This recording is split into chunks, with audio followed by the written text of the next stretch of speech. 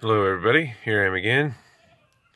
This is probably going to be like a really terrible recording because it's pouring down rain, I'm in a metal barn, it's really loud, there's chickens and goats making all kinds of noise and so I'm sitting inside a truck, inside of a barn, hoping to make a recording. So I hope this turns out.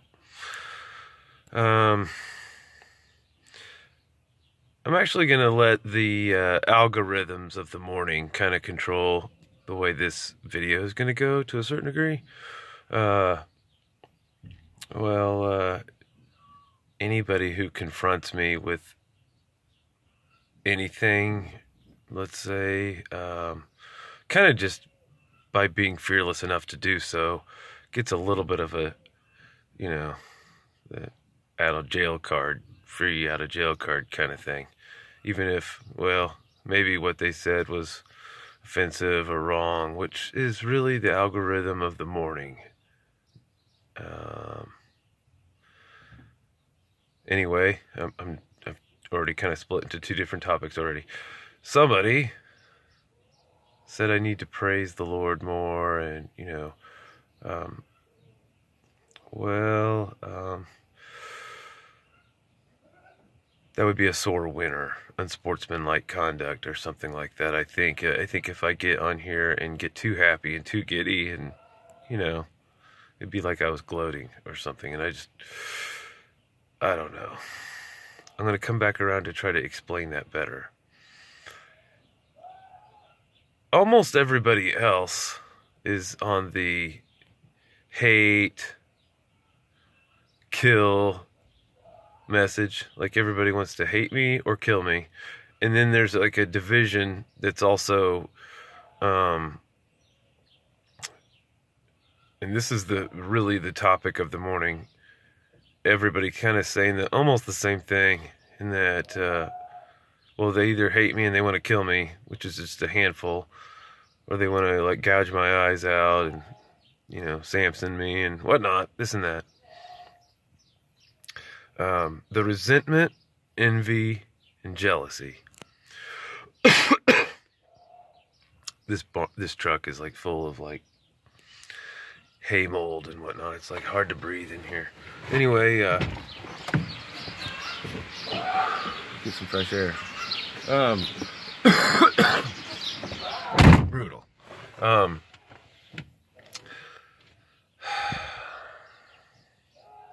So this topic, it's kind of old news. Like it's just a resurfacing, and I, I, I can say across the board, I've never seen it so obviously across the board. Obviously, based off of maybe some of my videos yesterday, I did put out two of them. So, um, everybody's envious or jealous or resentful. I've dealt with that my whole entire life. This is really old news. I've always dealt with this since I was cognitively aware of my own existence and had any kind of awareness of anything at all. We'll say kindergarten. Okay? So it's nothing new. Like, I kind of tried to lean upon, like, I don't know break it to you easy with information and videos that I've done a year ago, two years ago with I can do all things through Christ who strengthens me. Um, so, well, let's just say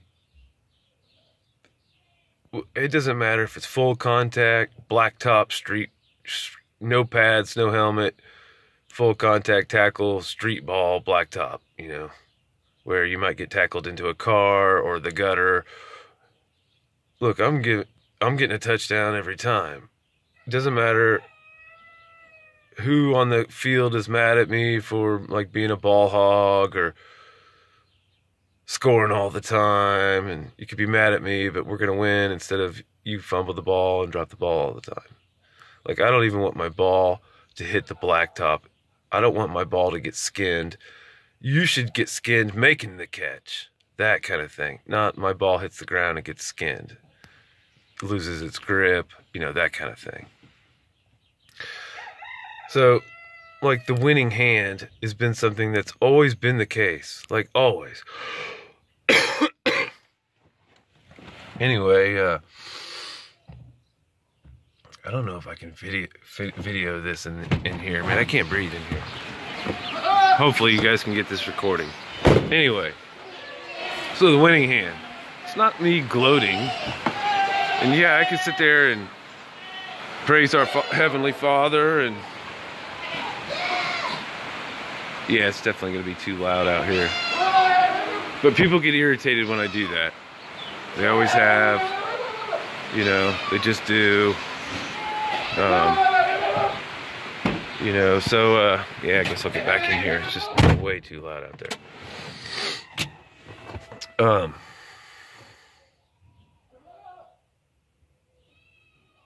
look, I ate a whole lot of humble pie for a long time. From like 1998 to me starting this YouTube channel, and I ate it hardcore from the year 2017 until me starting this YouTube channel. Like when I mean humble pie, I'm like, I don't have an appetite, and I'm being forced to eat, to rip open my own chest and eat the heart right out of myself. Eat my own heart when I don't even have like a stomach to swallow it into. Okay? You know, like that's a that's a reality. It's like, okay. Let's go back to the prodigal son. Like that story hurts my feelings. Like I could break it down forever. I don't have time in this video, but the older brother that stayed with the father, that was loyal to the father, that never left the father's side, he himself is envious. He himself maybe a little jealous. He himself resentful that he and his friends didn't even get a goat. And, and then the prodigal son gets the coat of many colors, like, you know, the fatted calf, that it's really humbling. See what I mean? Like when I mean winning hand, it's not just like when when all the chips fall. Rothschild doesn't have the winning hand. I have the winning hand. The Vatican doesn't have the winning hand. I have the winning hand. Mark Zuckerberg, Elon Musk, Donald Trump, whatever, they don't have the winning hand. I have the winning hand.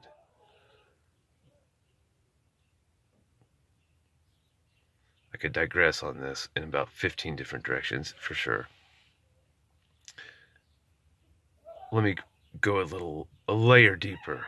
Like, you don't have the winning hand because I do. Don't be envious. Our Savior himself seems to have been envious, and he was letting you know. I don't know. See what I mean?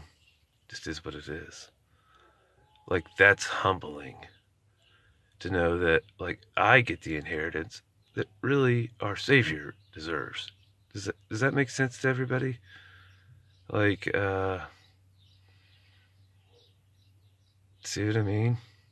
Like Noah didn't have the winning hand, I have the winning hand. Adam didn't have the winning hand, I have the winning hand. Abraham didn't have the winning hand, Jacob, David, not even Jesus. See what I mean? I was dealt the winning hand. See what I mean? Does that make sense? Not Alexander the Great, not. See what I mean? Do you, you get it? Whoever. They didn't have the winning hand. See what I mean? That. Like me starting off penniless was the will of our Heavenly Father and me following Christ. See what I mean? I had to follow Christ to get to that point. Otherwise, I'd probably be rolling in money.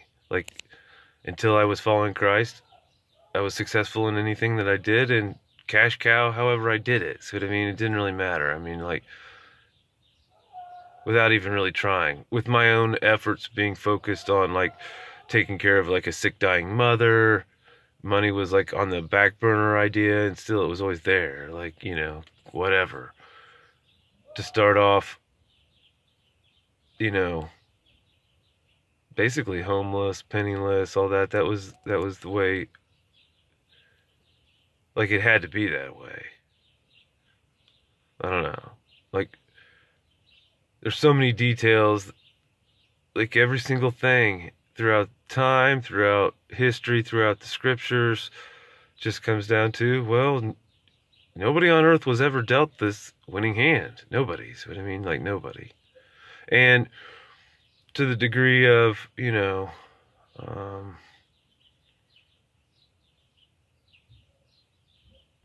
there's been so many consequences, like maybe earning the winning hand, but it's, I mean, you know, like I could talk about it forever. Like I'm equipped to talk about all this stuff forever and put it into terms where, well, everyone can explain it. Or, you know, I can explain it to any, where anybody could understand it. But people shouldn't take it personal. Like you should be thankful that, well, I am the living proof that our Heavenly Father exists and there won't be any more of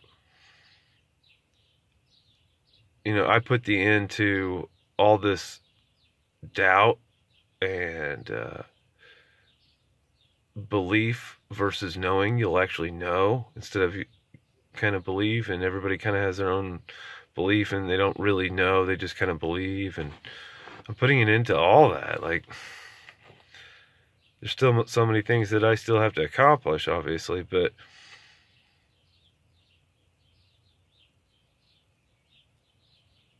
Out of respect for our Savior, I, I'm not someone, I'm not programmed like you all at all. And you all should go ahead and continue to praise our Savior and continue to praise the Almighty Creator, our Heavenly Father. I'm not looking for any praise whatsoever, not at all. But I, at the same time, I'm like, I'm not programmed like you. It, like, humbly. Like, too, I'm too humble to, like, praise in front of my older brother, the loyal, obedient, only obedient son of my heavenly father that didn't get the fatted calf, that really didn't receive the winning hand. Do you see what I mean? He sacrificed that. You see, he really did. And uh, so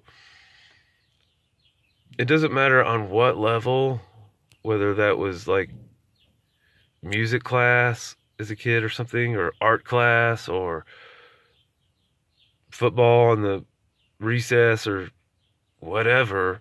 Like the winning hand has always been there, and I'm I'm so used to that. See what I mean? Hate people wanting to kill me for just them not having the winning hand or something. I don't know. I'm sorry. You know, it's not a competition thing, really. It just is what it is. I don't know. I mean, that you know, it's just it just is what it is. Like I'm here for each and every one of you as a servant and you don't want it. So I don't know, you know. I have no control over the time in which all the bricks of the wall are, are put into place. See what I mean? Like, and they're all aligned with the chief cornerstone. Once they're all aligned with the chief cornerstone, and our heavenly Father just plops the capstone on top, on top if if you're not lined up, you'll get crushed and broken. See what I mean? And like our heavenly Father knows the timing of all that. Not exactly me. It just is what it is. Can't change any of that.